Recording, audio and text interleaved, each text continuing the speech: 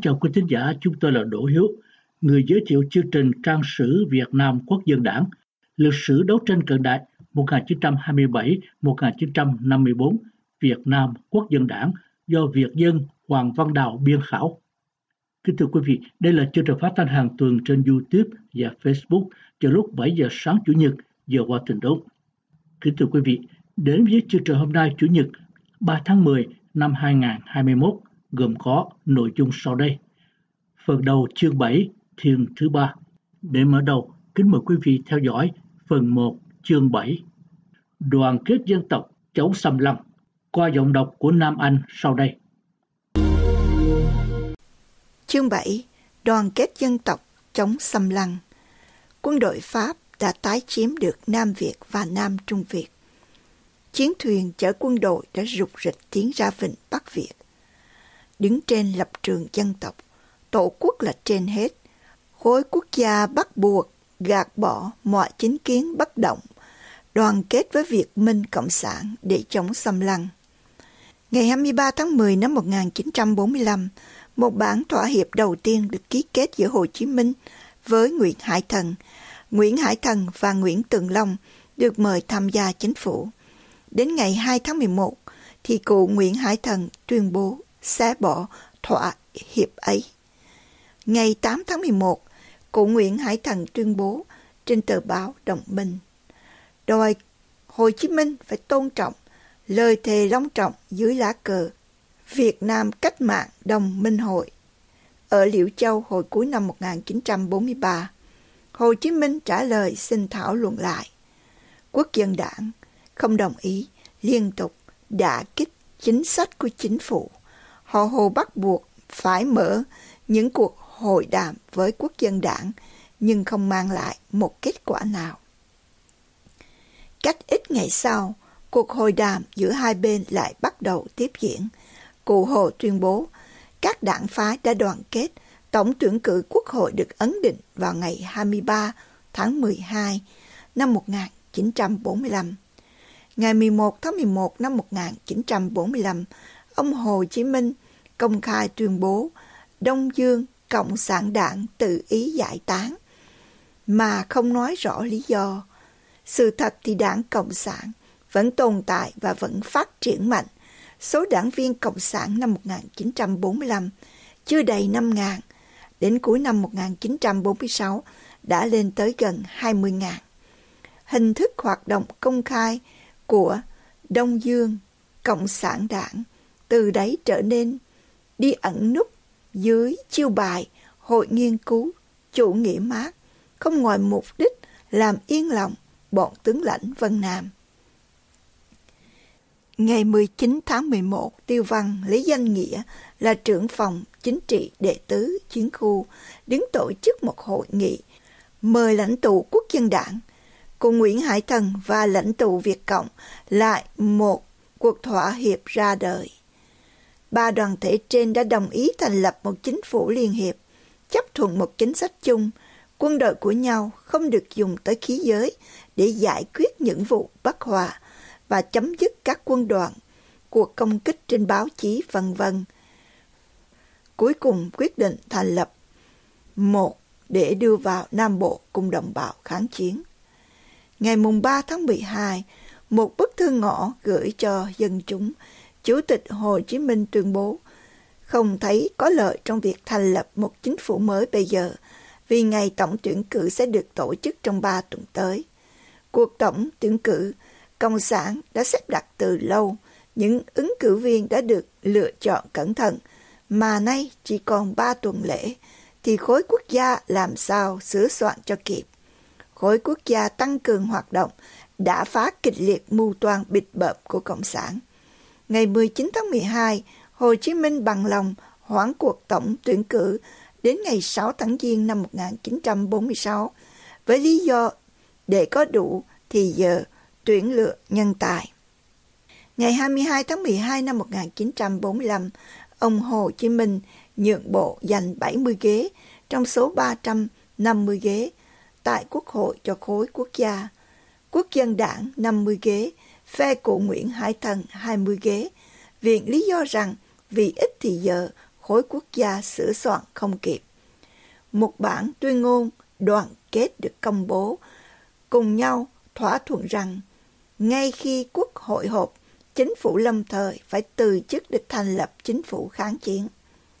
Trước ngày tổng tuyển cử, quân đội Trung Hoa đã cố tình làm cho tình hình rối ren thêm vì họ hay rằng Santoni và Hồ Chí Minh đã có những cuộc tiếp xúc bí mật liên tiếp đẩy họ ra khỏi Bắc vị tuyến 16. Họ đã tìm được cớ gây chuyện là quân đội của tướng Lực Lè đã ngược đãi người Trung Hoa ở chợ lớn, Nam Bộ. Họ đã gây một phong trào bại Pháp ở Hà Nội. Ngày 6 tháng Giêng năm 1946, cuộc tổng tuyển cử được tiến hành trong bầu không khí hòa hoãn. Dĩ nhiên Việt Cộng bắt buộc dân chúng phải bầu cho những người do Việt Cộng đưa ra và cũng chỉ những người đó mới có tên trong danh sách ứng cử viên mà dân chúng đã bắt buộc phải học thuộc lòng từ trước.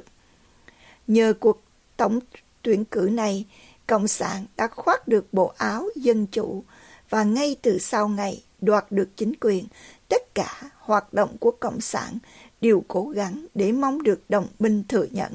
Nhưng ngoại trừ Nga Xô, Anh hoàn toàn đứng về phe với Pháp, còn Hoa Kỳ lúc đầu ủng hộ Cộng sản, về sau mới nhận thấy là Cộng sản nên lạm lơ.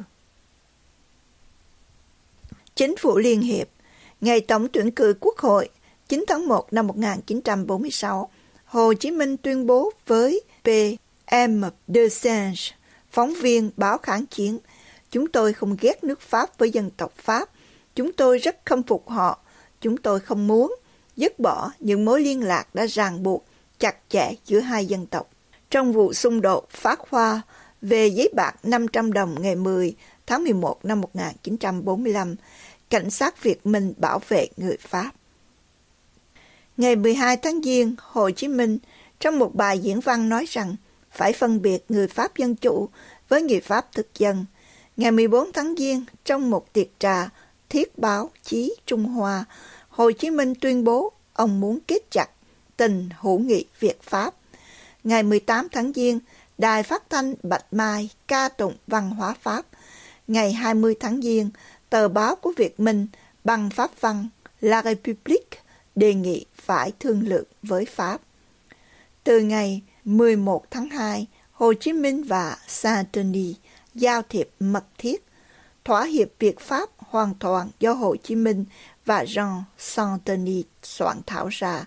Không có một đảng phái quốc gia nào hay biết vì họ chống Pháp kịch liệt. Hai người thảo luận từng câu từng chữ, nhiều cuộc cãi vã về danh từ độc lập. Sau cùng Hồ Chí Minh chịu thương thuyết với Santini trên căn bản độc lập nhưng nằm trong khuôn khổ Liên Hiệp Pháp. Ngày 18 tháng Giêng, Santoni vào Sài Gòn. Lúc đó Leclerc tạm giữ chức cao ủy Đông Dương. Leclerc đã đánh điện về Pháp, muốn đi đến thỏa thuận phải dùng ngay tiếng độc lập.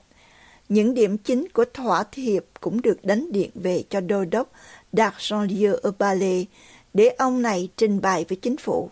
Leclerc ra lệnh cho Santoni tiếp tục thảo luận và phải đạt tới thỏa hiệp vào đầu tháng 3 tới. Vấn đề thời gian lúc đó rất cần thiết. Các chiến cuộc đã được chuẩn bị. Leclerc muốn rằng khi ông tới Hà Nội, một chính phủ phải ra mắt ông và không muốn để Hồ Chí Minh phải trở lại chiến khu tuyên chiến với Pháp. Ngày 19 tháng Giêng, Santini trở ra Hà Nội. Tại Hà Nội, Hồ Chí Minh bị phản đối kịch liệt ngay ở tổng bộ Việt Minh. Theo họ thì thương lượng với Pháp chỉ là phản bội lời thề độc lập, phản bội nhân dân. Một cuộc biểu tình lớn do nhóm thiết thực tổ chức vào ngày 19 tháng 2 đòi quyền hành lại cho Bảo Đại.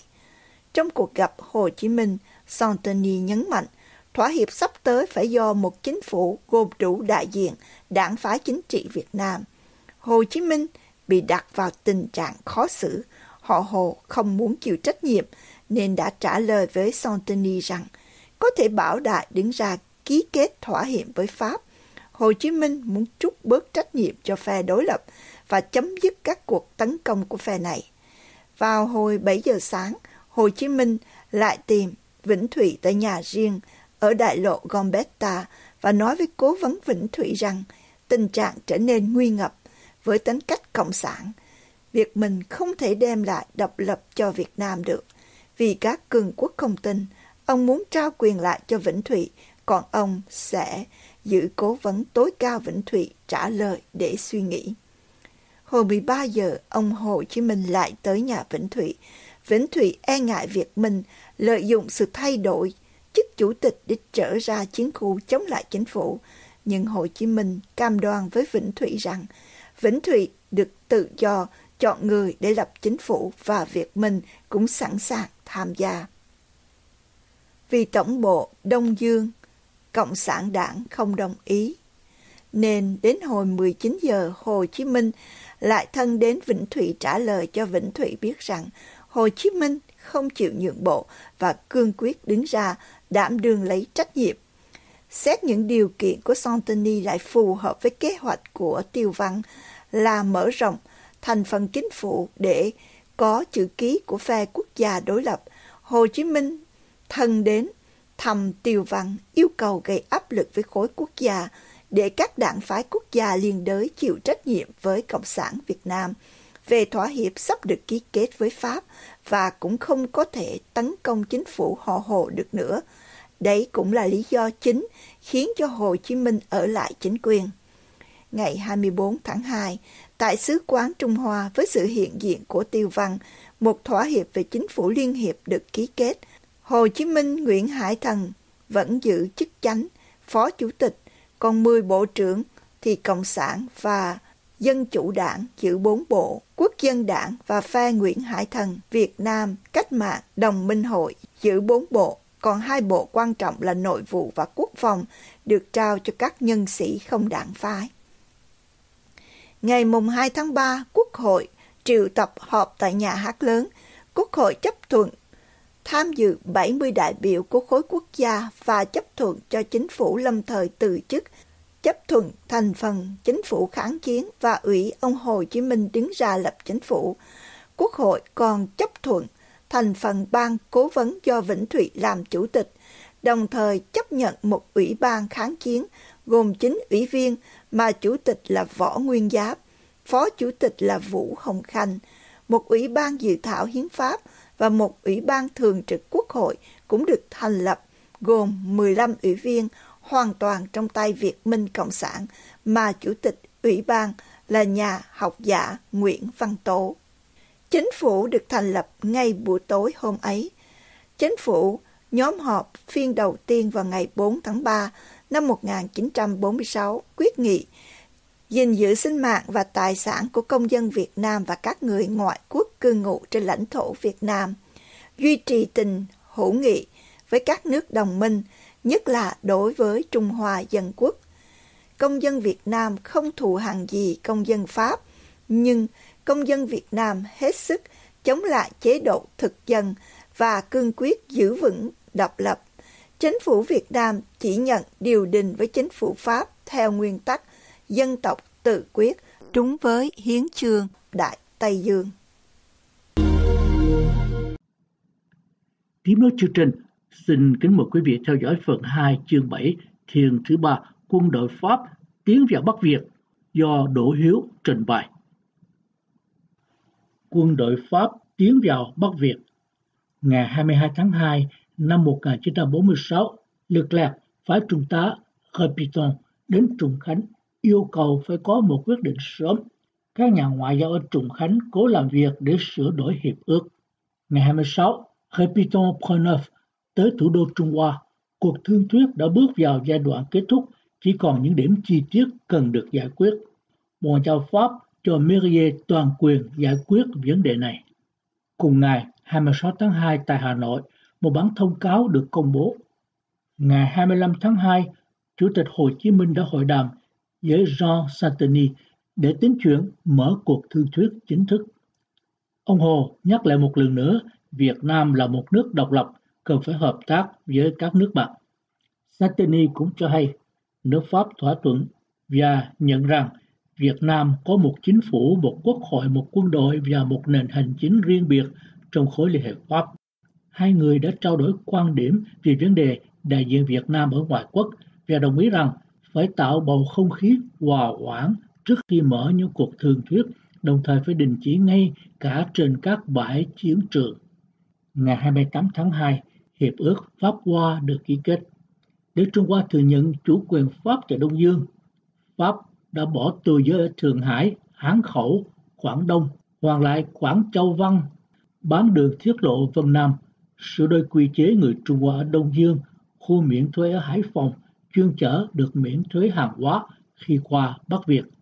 Đặc biệt là hiệp ước đó quy định rằng quân đội Pháp sẽ thay thế quân đội Trung Hoa hiện đóng ở Bắc Đông Dương kể từ ngày mùng 1 đến 15 tháng 3 và chậm nhất là ngày 31 tháng 3. Một thỏa hiệp giữa hai bộ tham mưu giải quyết vấn đề thủ tục. Nhưng thỏa hiệp này chỉ giải quyết vấn đề nguyên tắc và chỉ liên can tới tưởng thống chế và Bộ trưởng Bộ Ngoại giao Trung Hoa. Về phía Pháp, Đại tướng Salon được gọi về Hà Nội để thi hành thỏa hiệp trên. Đại tá Crépin, bạn của Leclerc, và là người hiểu biết rất nhiều về Trung Hoa cùng với Trung tá Repiton Proneuf và Đại tướng Jin Tae-sung, Thứ trưởng Bộ Tác chiến kim thị trưởng Bắc Kinh, là những người bắt tay về việc thực hành thỏa hiệp. Hồi 11 giờ ngày 1 tháng 3, người ta thỏa thuận về những căn bản do Crépin đề nghị. Repiton Pernov điện về cho Leclerc đã có thỏa thuận hạm đội có thể lên đường. Nhưng cho lúc 22 giờ tức là giờ ấn định để ký thỏa hiệp, Crépin chỉ thấy có thuộc viên mà thôi. Trùng Khánh cho rằng chỉ chấp thuận việc rút quân về nếu đại tướng Mark Arthur cho phép. Tuy nhiên, việc thay thế được tiến hành. Về thực tế, Bộ Tham mưu Trung Hoa không muốn rời bỏ Bắc Việt một cách mau lẹ như vậy. Hiệp ước sơ bộ 6 tháng 3 1946 Sau khi nhận được điện tín của Repiton Prodov, ngày 1 tháng 3, Leclerc ra lệnh cho toàn thể hạm đội lên đường, không quân đặt trong tình trạng sẵn sàng nếu cần thực hiện ý định trung lập hóa Hà Nội. Cuộc hành quân Bentre được tổ chức nếu ngày 6 tháng 3 các nhà ngoại giao, các chính khách không thỏa thuận, chiến tranh chắc chắn khó tránh. Hà Nội náo động, đáng lẽ Quốc hội được triệu tập vào ngày 3 tháng 3, nhưng Võ Nguyên Giáp quyết định triệu tập ngay vào ngày 2 tháng 3. Chưa đây, 5 tiếng đồng hồ mọi việc đã được giải quyết. Tại Hà Nội, đối với các tướng tá Trung Hoa, những cuộc tranh luận không đem lại một kết quả nào. Lữ Hán về Trùng Khánh, tướng Chu Phúc Thành tạm thay thế. Chỉ huy nhưng tham mưu trưởng của Lữ Hán là Ma In tuyên bố ông không biết tới các cuộc thương thuyết quân sự ở Trùng Khánh và ông chỉ nhận được những chỉ thị dự bị có cuộc thương thuyết mà thôi. Nếu quân địa Pháp đổ bộ, Trung Hoa bắt buộc phải bắn. Đêm mùng 4 rạng ngày mùng 5 tháng 3, suốt 7 tiếng đồng hồ, từ hồi 21 giờ đến 4 giờ sáng, Đại tướng Salon Trung tá Repiton Prodov, Đại tá Leconte đã thương lượng việc các tướng Trung Hoa Chao Ma-in, Cheng Chang. Các tướng này cho rằng họ không thể nào hành động như người Anh ở Nam Việt. Nếu họ để người Pháp đổ bộ, họ sẽ làm cho người Việt giận mà thôi và người Trung Hoa ở Bắc Việt sẽ bị ngược đãi, tàn sát. Một cảm giác nặng nề bao trùm ngày 5 tháng 3. Buổi sáng, Bộ Tham mưu Trung Hoa ở Hà Nội định nhượng bộ thì Yu Jingchang đã đến điện ra lệnh cho quân đội Trung Hoa không bằng lòng cho quân Pháp đổ bộ, do đó phải ký thỏa hiệp với Hồ Chí Minh bằng bất cứ giá nào. Tuy nhiên, đến hồi 17 giờ, hội nghị Pháp Hoa lại nhóm họp với các nhân vật ngày hôm trước. Các tướng lãnh Pháp báo cho các tướng lãnh Trung Hoa hay tin hạm đội Pháp đã tiến vào Bắc Việt. Nếu ngày hôm sau mà thỏa hiệp chưa được ký kết, chiến tranh tất sẽ xảy ra các vị tướng lãnh Trung Hoa ở Hà Nội sẽ phải chịu trách nhiệm trước chính phủ Trùng Khánh và trước dư luận quốc tế. Tình trạng căng thẳng. Có thể nào các vị tướng lãnh Trung Hoa lại nhất định không theo mệnh lệnh của Trùng Khánh không? Tướng Trao khuyên Stalin nên thảo luận với Hồ Chí Minh và đồng thời ông chạy ngay lại nhà Hồ Chí Minh. Thấy tướng Trao đến vào lúc 21 giờ, Hồ Hồ hết sức ngạc nhiên. Tướng Trao nói với Hồ Chí Minh, tại sao các ông không thảo luận với quân Pháp quân đội họ tới, các ông sẽ phải lao mình vào chiến tranh. Hồ Chí Minh không hiểu gì về sự thay đổi thái độ của các tướng lãnh Trung Hoa cả. Hồ Chí Minh lên tiếng phản đối người Trung Hoa đã xen vào nội bộ Việt Nam. Tướng chào ra về, tin tưởng rằng thỏa hiệp Việt Pháp sắp thành và ông cho các tướng lãnh Pháp hay là ông sẽ ra lệnh cho trung đoàn đóng Hải Phòng không được nổ súng. Nhưng thỏa hiệp Việt Pháp vẫn chưa có. Đến quá nửa đêm, những cuộc mặc cả lại đi đến chỗ bế tắc. Santini Pignon ra về yêu cầu Hồ Chí Minh hãy suy nghĩ kỹ, ngày mai có lẽ quá muộn vì quân đội Pháp đã tiến tới Vịnh Bắc Việt. Sáng hôm sau, Hoàng Minh Giám lại nhà Santini và báo tin rằng Hồ Chí Minh đã chấp nhận những điều kiện của Pháp. Hai bên thỏa thuận hội đàm vào buổi trưa để soạn thảo văn kiện và chính thức ký kết vào hồi 16 giờ. Tại Hải Phòng, từ sáng sớm ngày 16 tháng 3, hạm đội Pháp tiến vào cửa cấm. Hạm đội đó tản ra và các tàu nhỏ đã tiến tới chỗ đậu. Tướng Valui ở trên chiếc Triomphant. Đinh Ninh tưởng rằng mọi việc đã xong xuôi. Có ngờ đâu tướng Wang Hu Wang, người Mãn Châu, chỉ huy khu vực Hải Phòng, lại lấy cớ rằng chưa chính thức nhận được tin về thỏa hiệp Pháp hoa nên ông ra lệnh nổ súng. Lúc bây giờ cho hồi 8 giờ rưỡi sáng, Đại Bắc Trung Hoa bắt đầu nổ. Tàu MCI phát quả, nhưng tàu Triomphant vẫn tiếp tục dẫn đầu hạm đội tiến vào, mặc dù bị pháo kích. Một viên đạn trái phá trúng tàu Triomphant, nổ tung, phòng thuốc, làm thiệt mạng 24 người. Đến hơn 20 phút sau, được lệnh của Leclerc và lui cho nổ súng bắn trả lại. Kho đạn dược của quân đội Trung Hoa bị cháy, đôi bên bắn nhau dữ dội. Sau cùng, Pháp phải giao thiệp với các tướng lãnh Trung Hoa. Đến hồi 11 giờ tiếng súng mới ngưng nổ.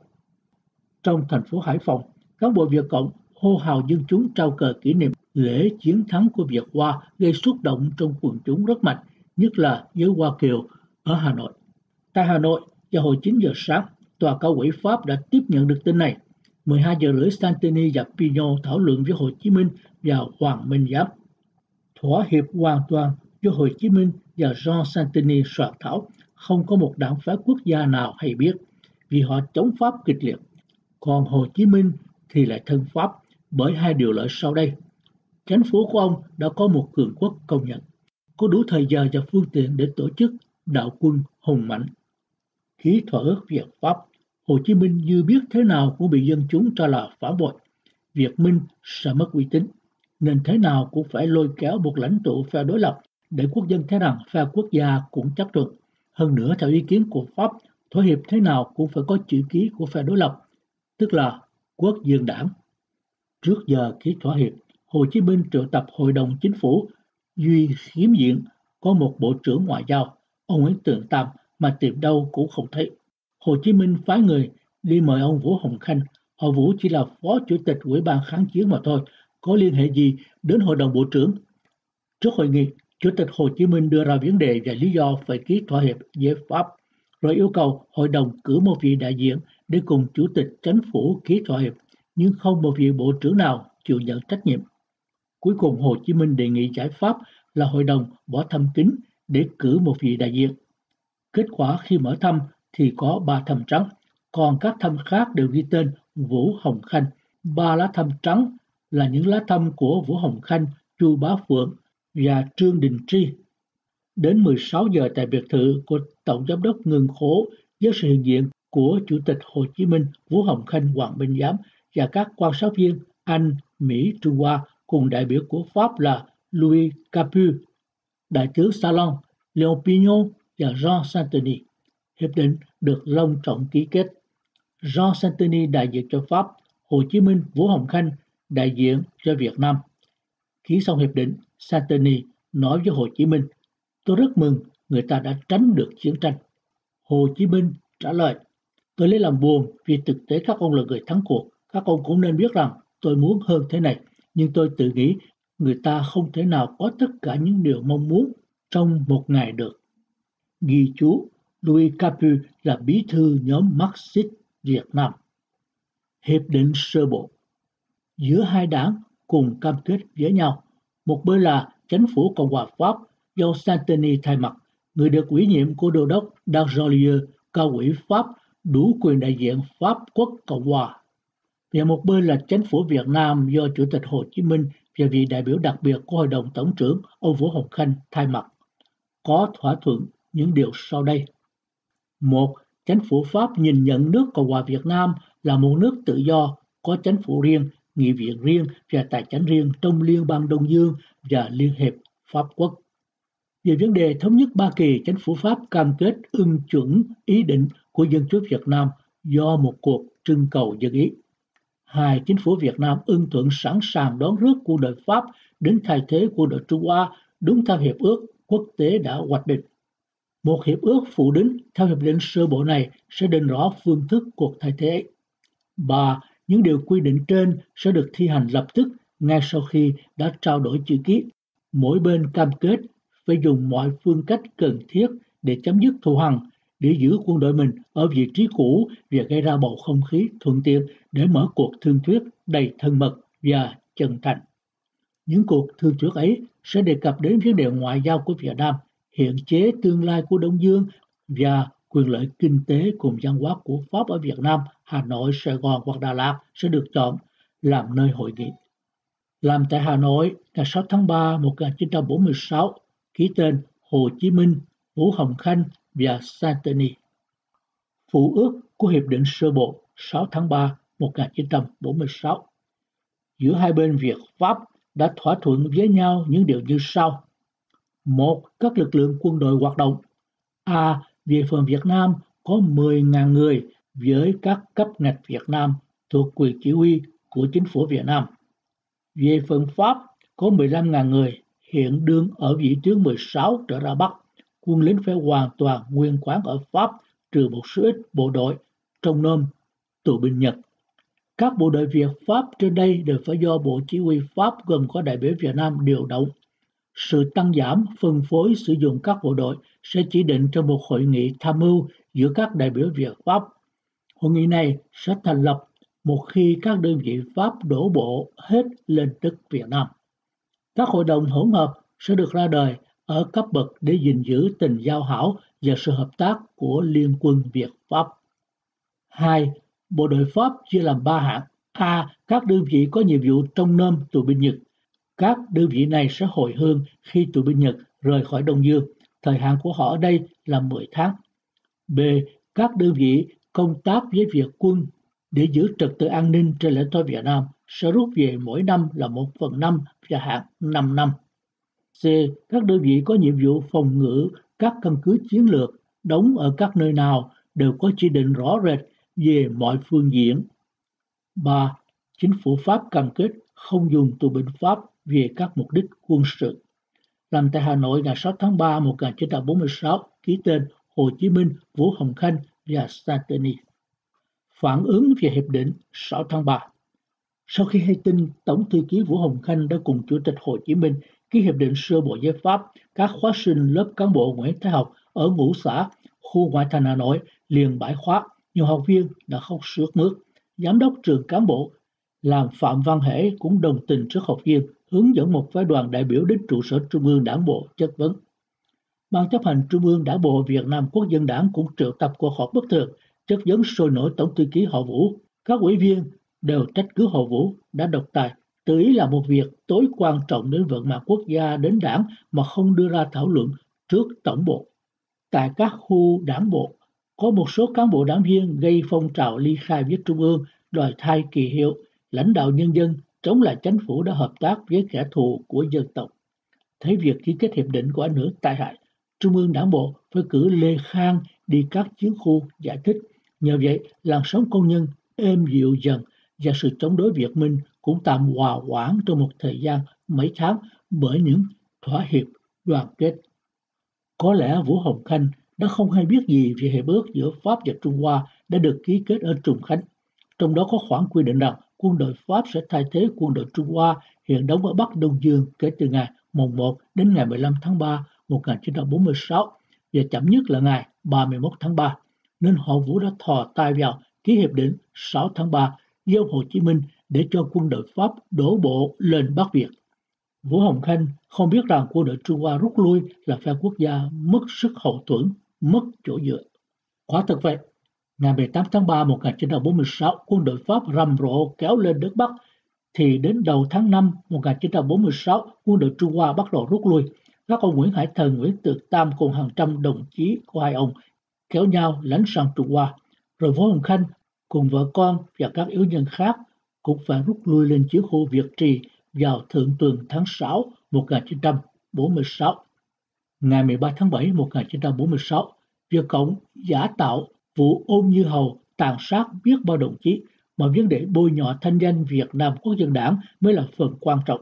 Và tiếp theo, chính phủ Hồ Chí Minh ra lệnh đánh phá các chiến khu đảng khiến phải tan rã dần dần. Thiệt mạng mất bao nhiêu thanh niên đảng viên ưu tú. Cuối cùng Vũ Hồng Khanh cùng vợ con của ông lại lánh sang Trung Hoa một lần nữa. Có lẽ Hội Vũ cho việc mình được mời ký vào Hiệp định 6 tháng 3 là một vinh dự chăng?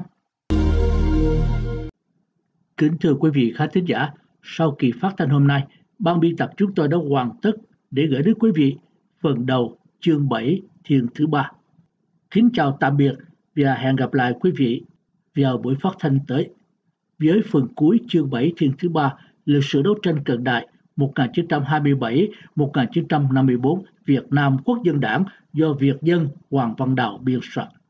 Đỗ Hiếu xin kính chào tạm biệt và cầu chúc quý vị khán thính giả cùng Vũ Quyến luôn bình an, may mắn.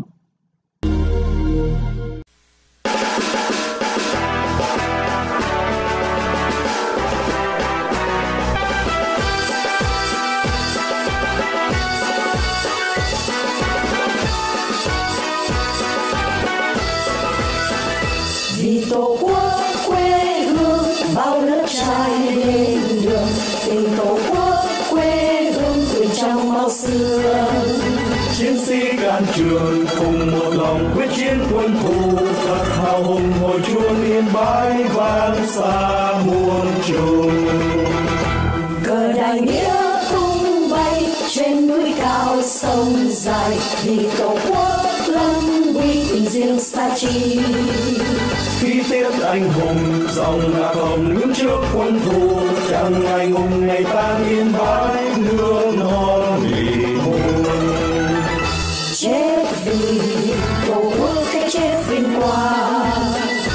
ta sung sướng khi ta nhẹ nhàng. Máu hồng việt quốc đã ấm quê hương việt nam vạn quê.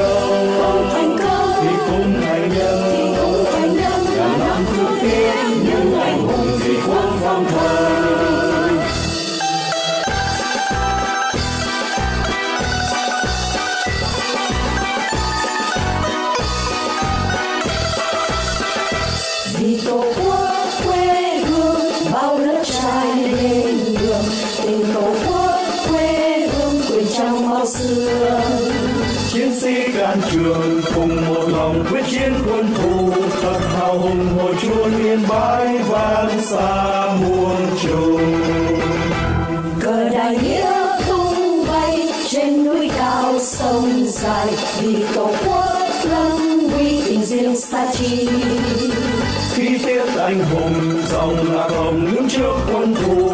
Chẳng ngày ngùng ngày tan yên bái nước non vì muôn chết vì tổ quốc cái chết vinh quang lòng ta sung sướng